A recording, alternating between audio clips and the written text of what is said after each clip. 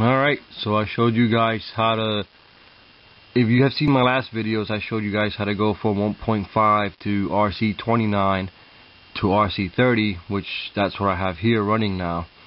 Uh, on this part 3, I'm going to show you now how to upgrade to RC33. So make sure your SD card is formatted again. I did it already on my computer. So make sure you want to get your RC33 file I already have mine downloaded.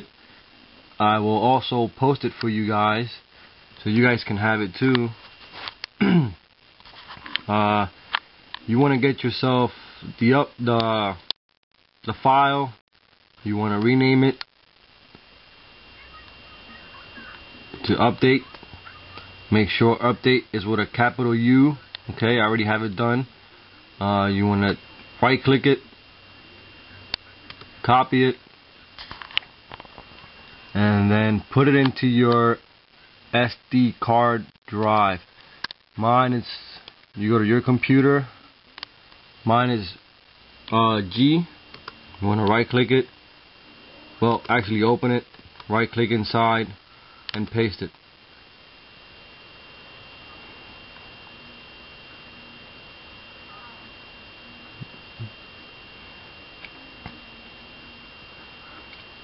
Once it's done, close that, and then we go to our phone.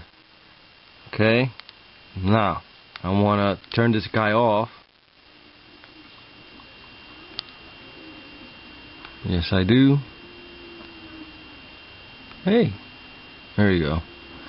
Unplug him off of here. So now that he's completely off, okay, Let's start the upgrade. now, like always again, power and home, hold them together.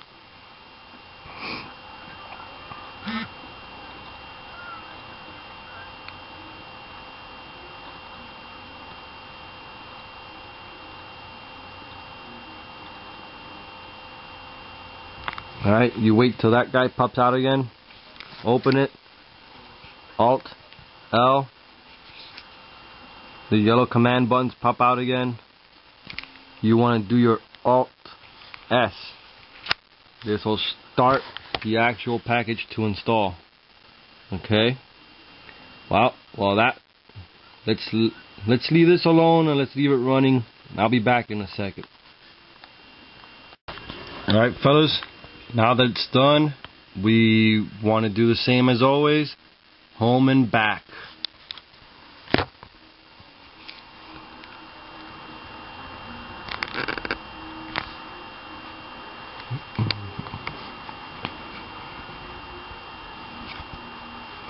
Oh, it always has a little lag to it.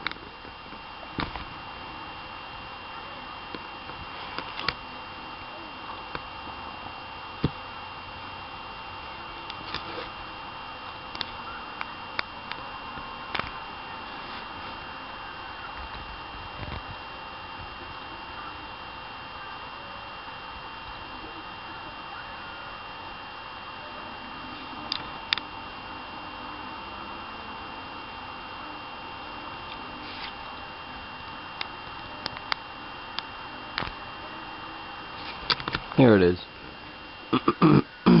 writing to radio.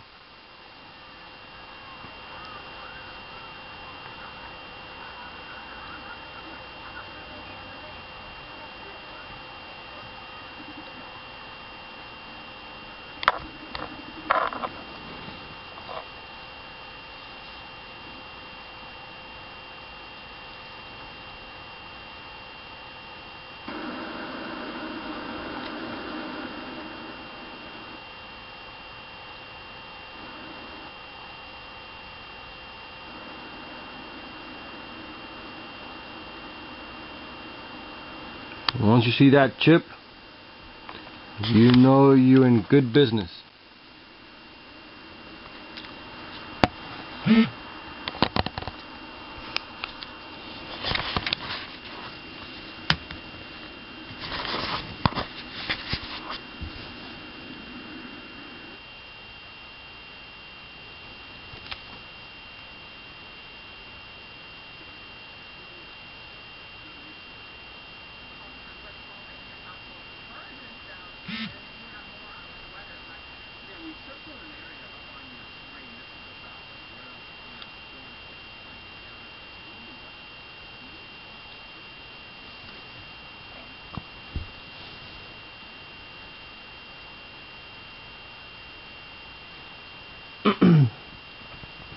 and just let it boot up. And remember guys this is RC33 uh, you guys can wait for the OTA once you got this. Or uh, for those of you that have RC33 and want to manually install to 1.5 I'll have that on my next vid. So check that out. Um, this is also good for you guys. I see that on the T-Mobile forum. You, there's a lot of people that did the OTA uh, update and are having all these bunch of problems uh, the manually installed update a lot of people that have done it have not gotten any problems at all uh, especially me with mine I haven't gotten any, any problems whatsoever. So if you guys want to try it out on my next vid, I'll give it a shot and show you guys how to do it too. It's, basic, it's basically the same steps, just getting the 1.5 uh, cupcake uh, file and just doing the same steps that I just did basically. But I'll put it on a vid anyways. Um, here's your R33. See it boots up.